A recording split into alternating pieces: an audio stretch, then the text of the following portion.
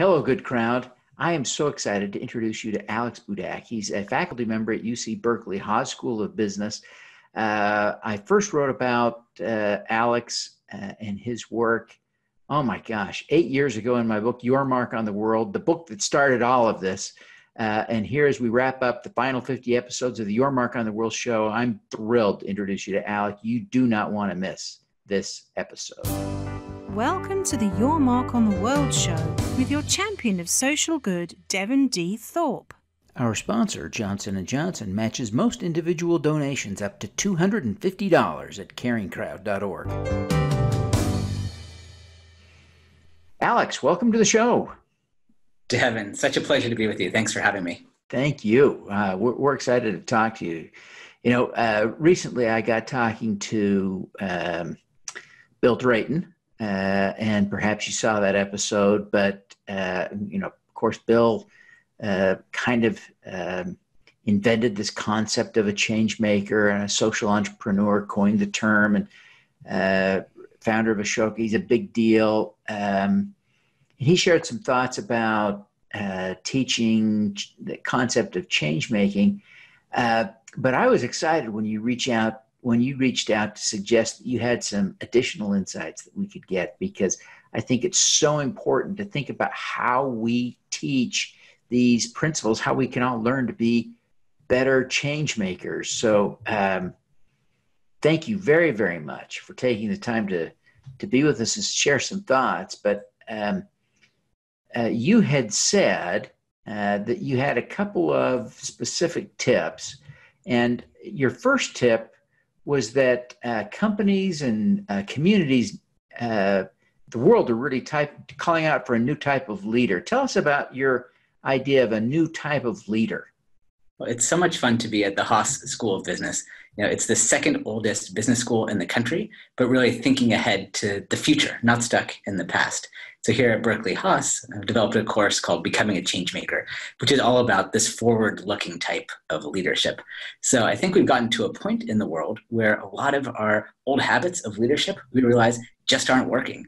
The hierarchical nature, the idea of the CEO sitting in the corner office and giving out commands from on high, um, that doesn't work anymore. And so the question now is what type of leadership does work? And my belief is that the leadership of the future is changemaker leadership. So I get to teach students about things like humility, trust, collaboration, resilience, courage. And I think these are the traits more and more so that will uh, define what leadership means um, today and in the future. Those are really uh, important skills. Uh, how do you teach young aspiring leaders to adopt those traits? What are the, the techniques you use to teach that? Well, can I just say that if you ever start feeling bad about the state of the world, just meet some of these Berkeley changemakers. They're incredible. This diverse, inspiring group of students, and they will really um, give you faith in in the future generations. So you're right. You know, we're talking about concepts which may seem a bit abstract, so the way I structure my class is to everything's grounded in academic frameworks and research. So I'll present some theories, some empirical studies around these concepts that I've found are the future of leadership. But then it's also a very hands-on course. So we put what we're learning into practice.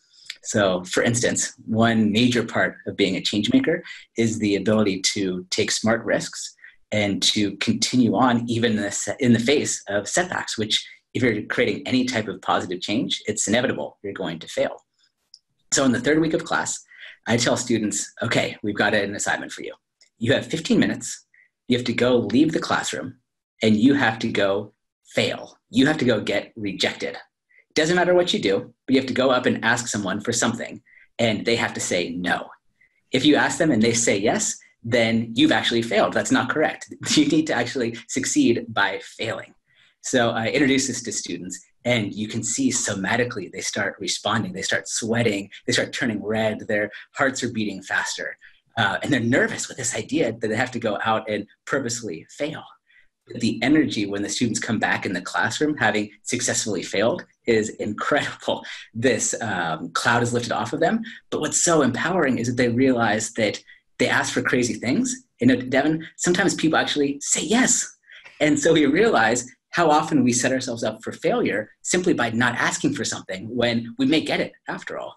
What, those, what, are some examples of the things people ask for and successfully get rejected? Uh, you know, a whole array of things. There's one woman who asked another woman, "Hey, can I borrow your shoes?" Uh, someone who walked into the school gym and said, "Hi, it's not my birthday, but will you sing Happy Birthday to me?" Uh, one guy stood outside in the rain with an umbrella and tried to get people to switch umbrellas with him. And no one would. But then on the flip side, you know, there was one guy who asked a student, said, Hey, I have to walk all the way across campus. I don't have an umbrella. Would you walk me? This is a 20 minute walk. And the guy said, Okay, he would do it. That's a good reminder of all the kindness and generosity that, yeah. that exists in the world. That is really uh, an amazing anecdote. Uh, and there are probably a few rainy days at Berkeley. Uh, I've been there for some. Um, you talk a little bit about, uh, as your second tip, the mindset and leadership skills uh, a change maker needs are learnable and practicable.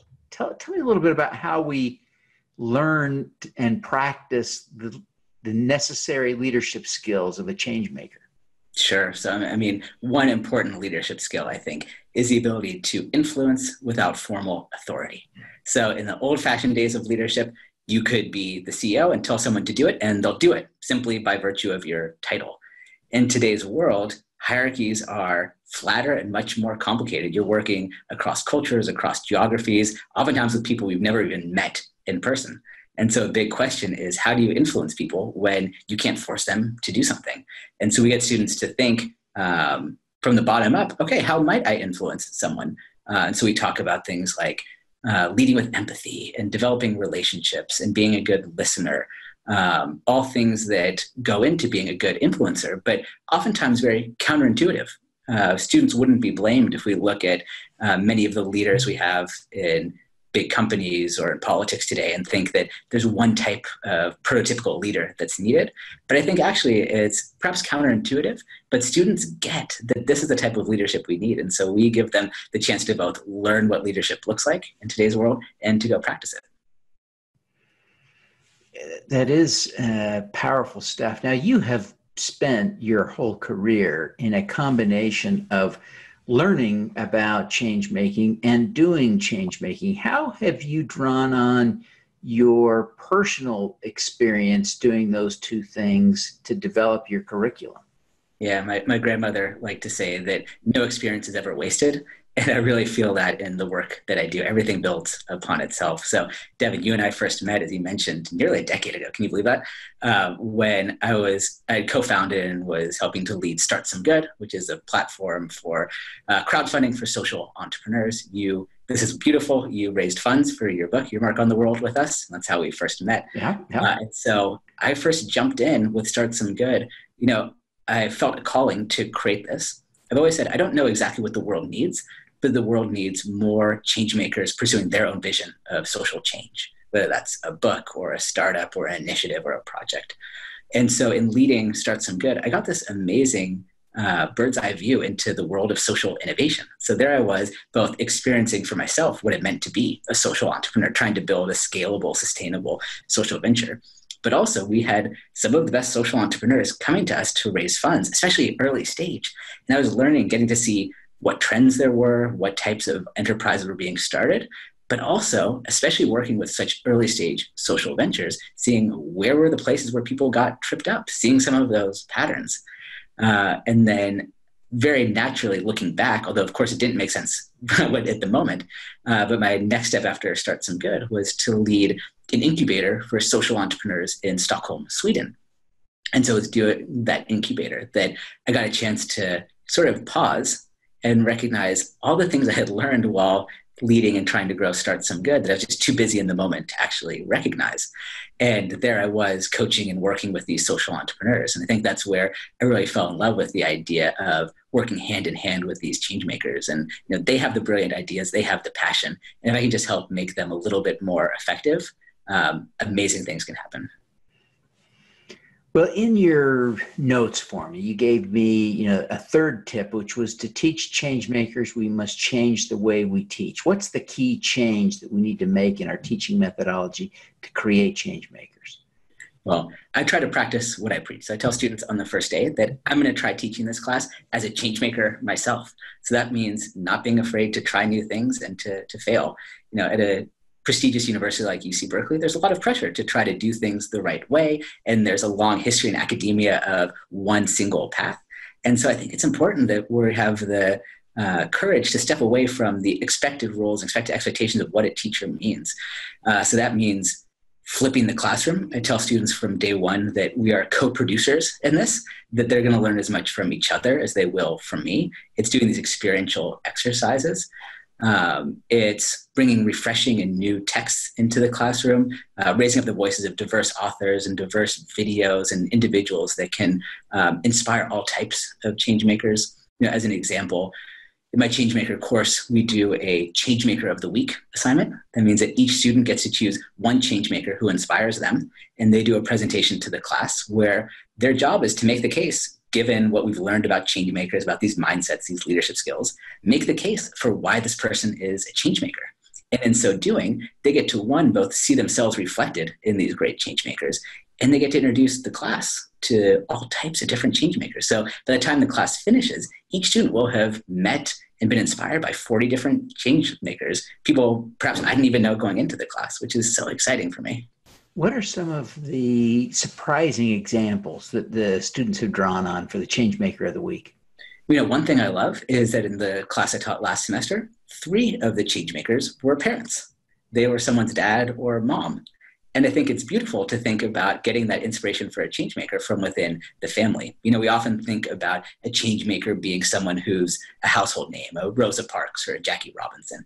And to be sure, those are amazing change makers. Uh, but there's also something incredible to be said for the guy who was talking about his dad and his approach to servant leadership and how he served his community and served them in a really thoughtful and deep way. And so I think it's beautiful to be able to bridge that gap between the sort of everyday change makers as well as the, the household names. Yeah, for sure. As you look back over your career, Alex, what are you most proud of having accomplished so far?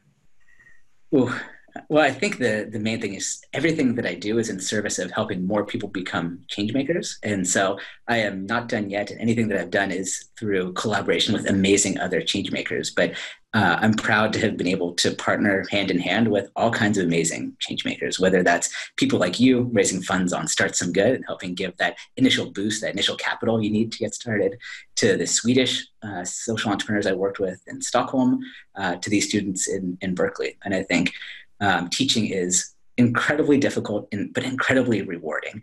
And there's an amazing moment when I can feel that light bulb go off in a student's head where they make that cognitive switch where they go, I get it. I can be a change maker.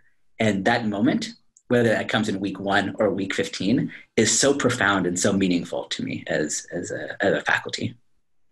Yeah, excellent. Alex, you have been so deliberate about this, so studied, uh, and yet so action oriented. I wonder, as you look back, what the most single most important lesson you've learned is. Hmm. That's an amazing question, and one that, if I'm truly going to be deliberative, probably I need more time to think about. Um, but I think it really comes down to being willing to have the courage to put yourself out there and that you can't possibly know what's going to happen or what's next but being having a conviction somewhere in your heart that this is something I, I need to do and doing it regardless so it's fine to feel scared about doing something and it's fine as i teach my students to fail many times as you do something uh, but i think finding some way to find that courage to put yourself out there and when you get knocked down to get back up again um, i think that's perhaps the, the most important lesson Excellent. Excellent. I, I, want you to reflect with me for a minute. Uh, really go back uh, in your life. What triggered your passion for change making? Hmm. Why do you do this? You know, you're one of the first people that's ever asked me that, which is a, a terrific question.